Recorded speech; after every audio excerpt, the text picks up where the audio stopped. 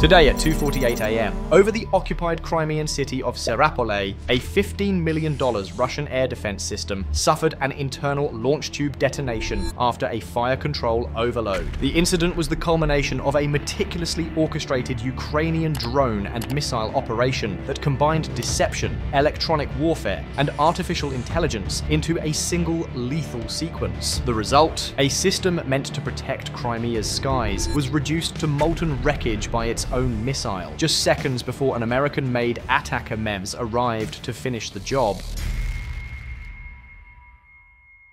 The chain reaction began 15 minutes earlier, under cover of dense coastal fog. At 2.33 am, in a muddy field near Khersonin, Ukrainian operators armed a mobile pneumatic catapult launcher. With a sharp hiss of compressed air, five Bober drones took to the sky. Four served as hunters, decoys designed to confuse and bait defenses. The fifth, designated Ghost Bober, acted as command and controller, flying at just 40 feet above ground level. The drones slipped beneath radar coverage, using the fog as an invisibility cloak. The first Russian defenders to detect them were not radar operators, but 45 soldiers dug into trenches along the front. They heard the faint, high-pitched whine of propellers cutting through the mist like hornets, one survivor would later say. Moments later, tracer fire erupted from Zu-23 two autocannons, spewing 2,000 rounds per minute into the fog. Shoulder-launched missiles followed, streaking toward invisible targets. But in the thick, moisture-laden air, visibility was under 100 feet. The drones were flying lower than that. Soldiers were, effectively, shooting blind. Then came a calculated act of misdirection. Bober 1 broke formation and dove directly onto a non-critical communications antenna. Its small warhead detonated harmlessly, but the psychological and tactical effects were immediate. Russian infantry now believed they were under real attack, forcing higher level defenses to activate. Inside Simferopol's Air Defense Command, operators at a Nebo-M radar system observed the small explosion on their thermal feed. On radar, however, they still registered five airborne contacts, a mix of real and phantom signals.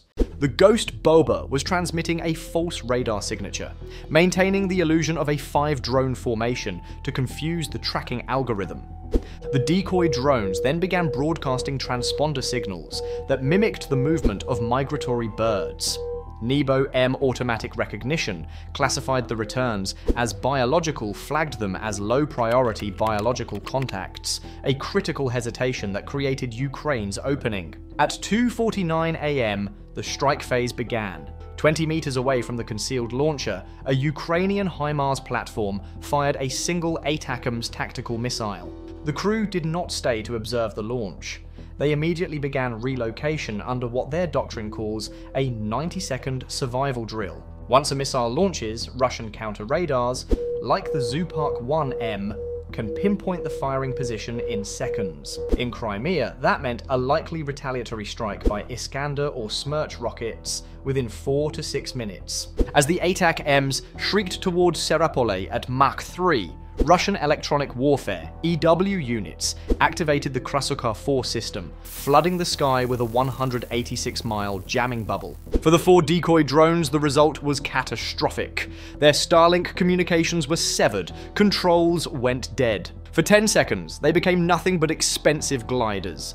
Russian operators, seeing the four drone signals vanish from their screens, believed they had neutralized the attack but their celebration was premature. The Ghost Bober, flying above the jamming envelope, activated a short-range laser communications mesh controlled by Ghost Bober between itself and the disabled drones.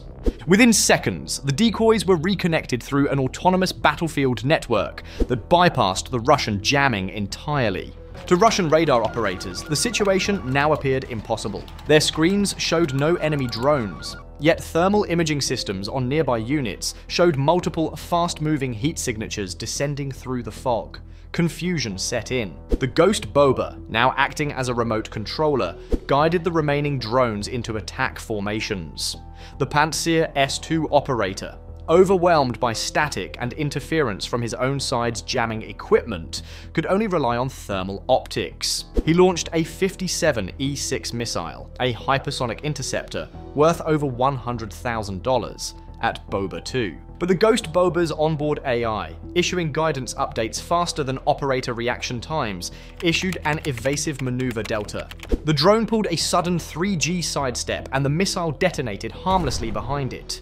Shrapnel tore into its tail, but the drone kept flying, damaged yet functional. Frustrated, the Russian operator fired two more interceptors at Bober 3 and Bober 4.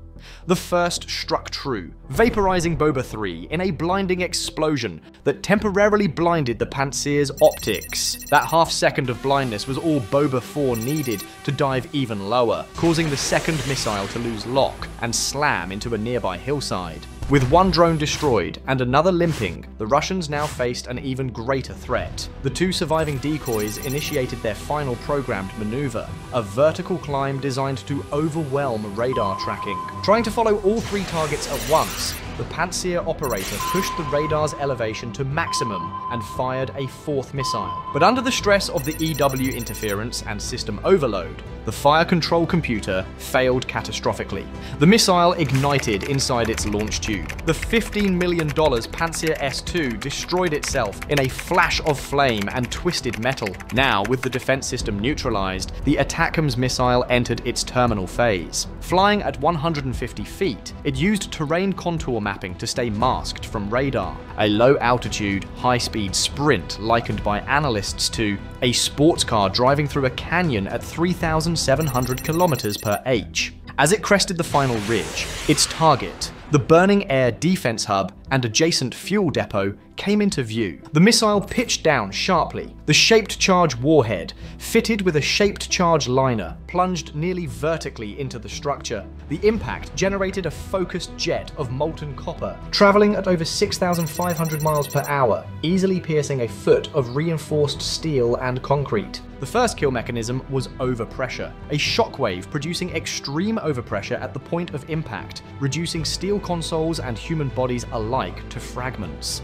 The second was penetration. The molten jet exited through the bunker floor and struck the nearest 70 ton diesel tank in the adjoining fuel depot. Within seconds, 840 tons of diesel ignited. The explosion produced an 80 foot fireball visible for miles and registered as a 1.8 magnitude seismic event. At 2:51 a.m., the Seropol command center and its surrounding base ceased to exist. Ironically, just as the fireball rose into the sky, a Russian Iskander missile, guided by the Zoopark radar, struck the now empty Ukrainian launch site, nothing more than a smoking patch of mud. The HIMARS crew had long since escaped. Above the inferno, the Ghost Bober switched roles again. From combat coordinator to battle damage assessor, its thermal feed showed total structural collapse of the target complex, followed by a chain of secondary detonations as ammunition depots and parked vehicles ignited. Russian infantry scattered from the area, visible as fleeing heat signatures. By dawn, the operation's effectiveness was beyond doubt.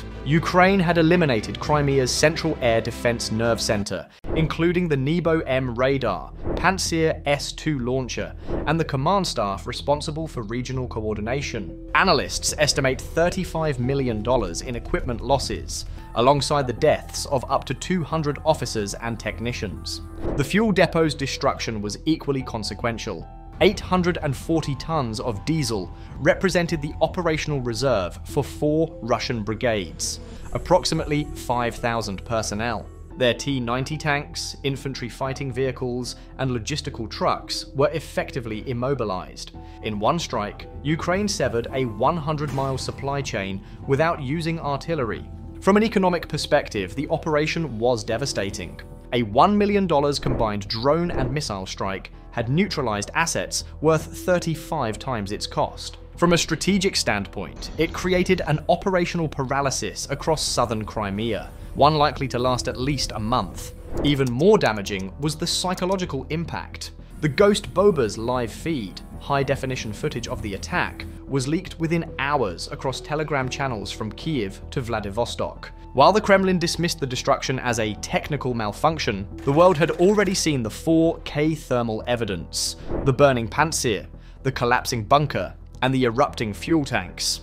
The implications for Russian command are profound. Their most advanced defense network was undone by five drones and one missile, leveraging low cost technology and superior digital warfare. Future operations will now face a strategic dilemma cluster high value assets together for protection, making them prime targets, or disperse them, diluting defensive coverage.